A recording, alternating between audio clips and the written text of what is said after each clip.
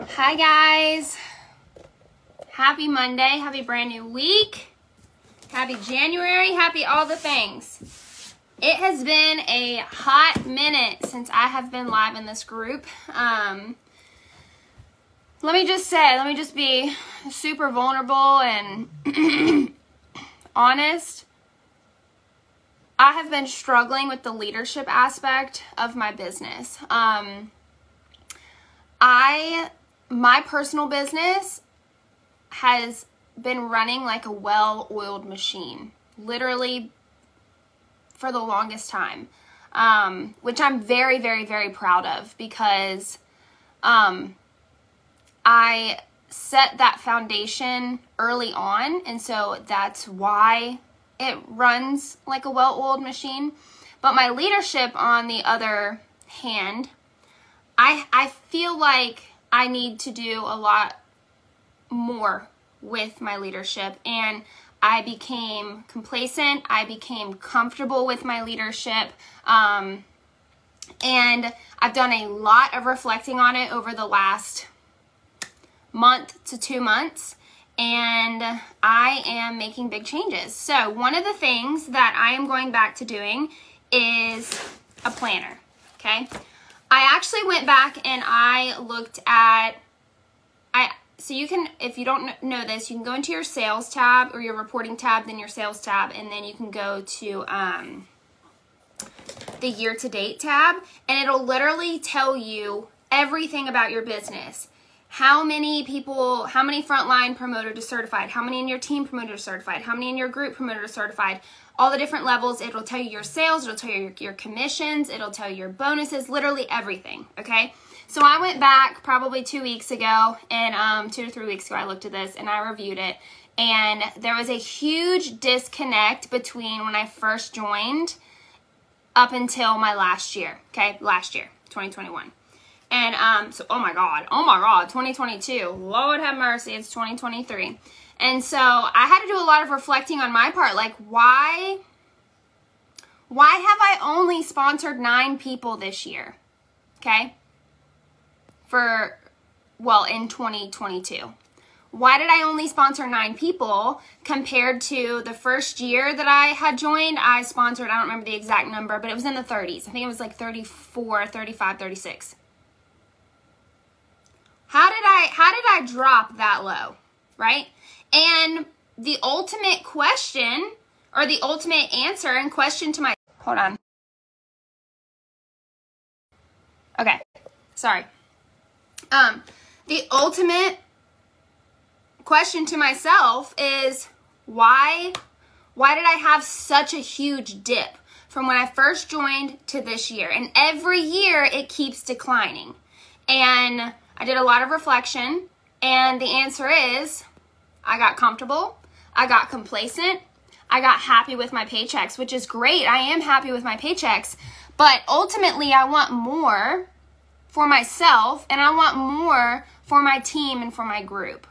And so that's a hard realization to have. That's a hard that's a hard conversation to have for, with yourself as a person and as a leader and as a business owner. It is. But you know what? It's a necessary one. And the reason why I haven't sponsored or recruited is because number one, I'm not talking about it. I'm not talking about my business like I was when I first joined or the first two to three years that I joined. I'm not talking about it like I used to. And so that changes. That changes. Katie actually messaged me this morning. I'm a part of her like frontline challenge text that I opted in for. If you are her frontline I highly suggest you opt into it.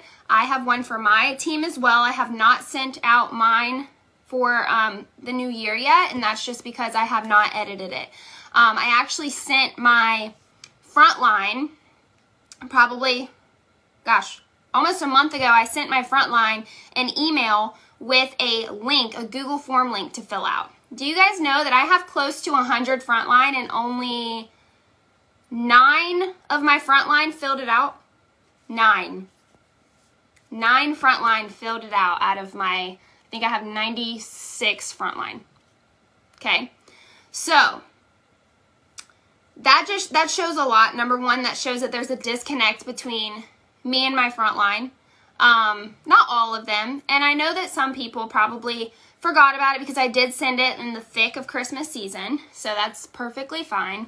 Um, but sending out that form and and getting such a low response to it is there's a couple things. Like number one, what is my cat doing? Hold on. Okay, he's about to curl up and take a nap. Number one, people are busy, especially in that season. So a lot of them probably forgot. Number two, it helps me figure out who the heck wants it. So those eight to nine people that did fill it out, those are the people I'm focusing on. Okay. Um, and then also, I need to do a lot of reflection on my part and ask myself, why didn't the other 90% of my frontline fill it out? I know I have a lot of hobbyists, so that could potentially be one reason. But I also have um, multiple frontline directors, and um, I don't think eh, not many of them filled it out. I don't think any of my directors actually filled it out.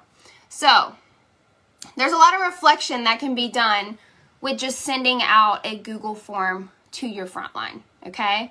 Um, but ultimately, the reason why my leadership is failing is because number one, I'm not showing up. Number two, I'm not talking about the business opportunity. Those are the two things, okay? And it's not hard to open your mouth and talk, but we have to do it. So I posted in this group last week. Um, I have two sayings that I am literally playing on repeat in my head this year. And both of those sayings I can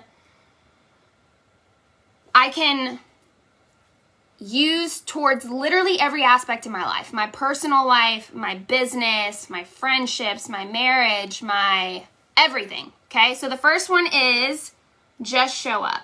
Just show up. Okay, and I want to explain that a little bit. Some days, obviously, life is hard. Some days showing up is going to be way easier than others. For example, today I am on fire. I'm about to go to the gym. I know what I'm doing in my planner. I have it written out. Um, I have a goal for myself today. But tomorrow might be different. Tomorrow I might wake up and I might be in one of my little funky moods. Okay? So the effort that I put in today might be different than the effort that I put in tomorrow. And that's okay because we are all human. Not every day is going to be 100%. Some days you might only be able to give 5%, but that 5% is better than 0%, right? So that's where my motto, just show up, comes into play. Um, it's going to help me get in the gym. I literally told myself this morning as I was making my bed. Um, by the way, I have been making my bed for probably three months now. There's nothing special to it. I just make sure when I get out of the bed, I pull the covers back, the sheets back, put the pillows nicely, pull my comforter back. And that has truly been a game changer in my mindset. And listen, I have never been one to make my bed I've never been one to make my bed. But something in me has just been telling myself because number one, everybody likes the look of a made bed, right? If you don't, uh, I don't know why you don't, but it looks nice, it looks clean. And so I've been making my bed. And it's really weird what it's been doing to my mindset. It, it likes it really does start my day. So if, if maybe maybe try that if you are in like a funky funk going on, okay? Um, what was I getting at? I was talking about something before making my bed. Oh, I was making my bed today, and um, I was like, what am I going to do at the gym? What am I going to do at the gym today? And what's my goal today? And um, I totally lost like where I was going. I went on the making the bed tangent. Oh, just do it. Just do it. I was pulling back my comforter on my bed, and um, and I was thinking to myself, like, what am I gonna do into the gym today? Do I wanna go to the gym? Like, I don't know. And then literally as soon as that, like, it's not a negative thought, but as soon as the thought came to my head and the question I asked myself was, do I wanna go to the gym today? I literally shut it down and I just told myself, just do it. And so I'm going to the gym. And if all I do at the gym is walk on the treadmill, then so be it. But normally, even when I struggle to get into the gym, as soon as I get on the treadmill, I always start my gym session off on the treadmill to warm myself up. As soon as I get on the treadmill, then my motivation starts for myself, right? Because motivation is bullshit, but you have to create your own motivation. No one else can do it for you, okay? Someone might be able to motivate you one day, but ultimately, if you want motivation on a day to day basis, you're gonna have to create it for yourself. And sometimes that motivation might not start until I actually get my ass on the treadmill in the gym. And then the music starts and then i'm like okay i feel good. I've been on the treadmill for 10 minutes. Let me go do my arm workout or let me go do my leg workout or whatever the case may be okay? So that's where just do it comes into play. How it comes into play for my business is when i don't feel like peopling or texting and checking up on my frontline my directors my sds i am going to tell myself just do it Okay? Even if it's messaging one person or doing one coaching call, just do it. Just do it. Okay? That's my first motto. My second one is um my second one is if it only takes 5 minutes, if it can be done in 5 minutes, do it now. I am notorious for letting things build up, pile up, and then once it piles up to over my head or you know what I'm talking about, then I have a full on panic attack, full on anxiety attack. I'm an asshole to my husband. I'm an asshole to anybody around me because I am overwhelmed. That's with literally anything piling up. Let's say laundry piles up. Let's say Scentsy boxes pile up. Let's say, um, I don't know, I haven't cleaned the bathroom in a week or two.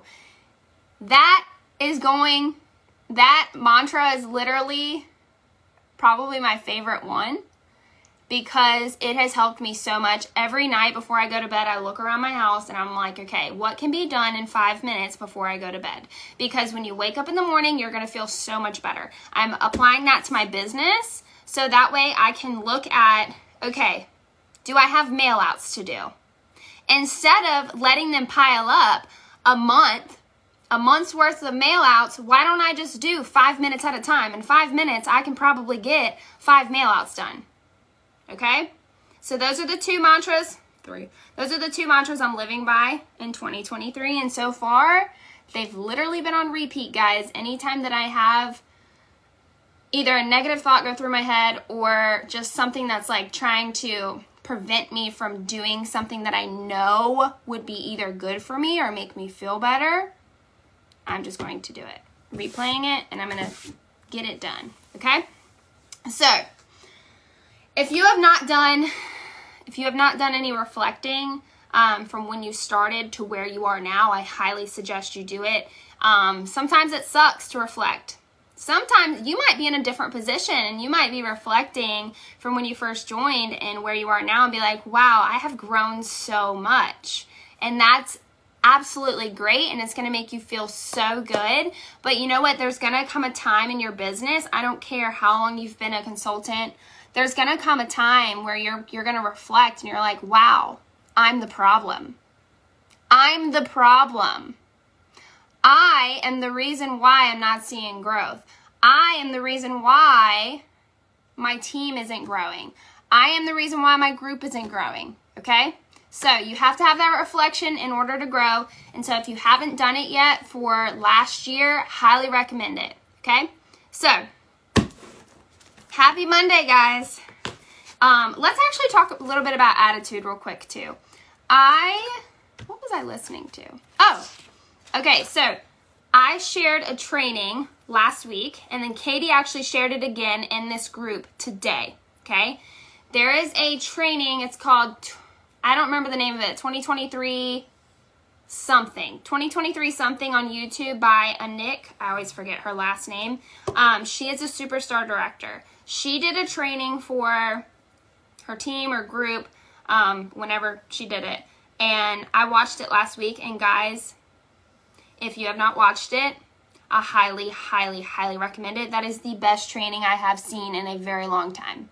It spoke to me. It lit a fire under my ass. It realized it made me, it helped me realize that I'm the problem for my lack of success in 2022. Okay? And it re- it made me realize that I have had a bad attitude. I have had a bad attitude. And when people have bad attitudes, you're not able to look inward and realize that you are the problem. You when you have a bad attitude, you push that onto everybody else and you blame everybody around you for your lack thereof. Okay? So, no more bad attitudes. Okay? I'm looking for the positive in every situation. So, even if it's a bad situation, I'm going to find a positive. And I truly feel that if we all change our attitudes, you are going to see so much growth. So much growth in 2023. So, I told you guys in the beginning of this training or video that um, I was lacking um, in my recruiting. And so that is my goal today. I actually, um, Katie sent me her frontline challenge text and it said, if you're up for a challenge, it had the video in it, and then it said, if you're up for a challenge, respond back to me. And so I responded back, and she told me, she said, I want you to sponsor someone this week. So that's what I'm going to do. And how I'm going to do it is I'm literally just going to share about the opportunity. I'm going to share about it, blast it everywhere, my VIP page, my emails. I'm going to text people who I know have been interested in the past. I am going to share my story on social media. I'm going to talk about the perks of being a consultant, and I'm going to put them on repeat this week. And I'm going to get someone to join. And it's going to it's going to have an impact on their life and I can't wait for them to see it. Because you know what? I look at my my very last recruit was I did not sponsor in December. I sponsored in November, right? Or was it October? I can't I think it was the end of October that I sponsored. Um and she was one of my good customers. She was one of my good customers and she has been on fire with her business. And let me just tell you, she I never expected her to join. She wasn't someone that I thought would be interested in joining. She wasn't someone wasn't someone that I thought would put her all into it. And let me tell you, she has completely just hit the ground running, okay? And has blown me away. And she just hit her 70 days, or I'm sorry, yeah, her 70 days. She just hit her 70 days yesterday. And she messages me with all the questions, good questions, right? Um, and she does all of my challenges that I give her. And when I was reflecting back on my business, I was like, why like why haven't I seen a lot of growth this year like I have in the last 2 to 3 years? And I mean, granted, let me just tell you guys when you guys compare if you were here before COVID, okay? COVID years were completely different. 20 and 21, those were like very abnormal years. So let me just tell you guys that right off the bat, okay? They were like years on steroids for our business. They truly were. Okay. So that growth is not normal growth for this business. And I'm not saying you can't see that growth in other years. I'm just saying that, like, that was literally years, two different years on steroids. Okay. So I went back before COVID because there was a huge growth that I saw in those two years. But I went back before COVID and I was still seeing huge growth in those years before COVID. But like, why didn't I see that growth in 2022? And I just thought the years before COVID, where I saw all that growth, I was working full time as a nurse, so I didn't have as much time at all. But because I didn't have that much time, I was taking advantage of the time that I had and the time that I made and I created for my business. And that was the difference between those years and 2022. 2022, I took my time for granted. I took my time for granted. I wasn't doing all the IPAs. I was picking and choosing which ones I wanted to do because I enjoyed them. I wasn't doing all the IPAs even if I didn't want to do them. Part of that was talking about the business. Um, so, reflection. One of the things um, that I did in the beginning when I worked full time, I had a planner. I had a planner and I literally carried my planner everywhere that I went to work, in the car, on road trips, when we traveled, so I knew exactly what I could do. That way, if we were in the airport and about to fly off to wherever, Mexico, I could literally open my planner and I would have everything that I needed to do for my business to still thrive. I would have, okay, text so and so, so and so, and so and so about joining. Okay, follow up with this host, this host, this host. Okay, place these people's orders. Okay, replace this person's warmer. And I I strayed away and I tried to go digital and digital worked for a certain amount of time and it still does for certain things, but ultimately like the years where I saw the most growth, I was using a planner. So that's why I went back and your girl got herself a planner for this year because I refused to have another year like 2022 and while it was while it was good in some areas it was it wasn't my best. And I want to have my best. Okay? So Let's go. It is Monday. Monday is literally my favorite day of the week, and that is because it is a brand new week, which means brand new goals, brand new mindset, brand new everything. You choose what you want your week to look like, okay? And ultimately, we can't choose what exactly happens in that week, but we can choose how we react to it and the attitude that we have towards it, okay? So, cheers to that. I'm going to work for about an hour and then head to the gym. I love you guys and I'm rooting for you guys and um, I highly recommend you guys go back and reflect. And once you do, come back and share with us in this group what you learned once you reflect. Okay? Bye, guys.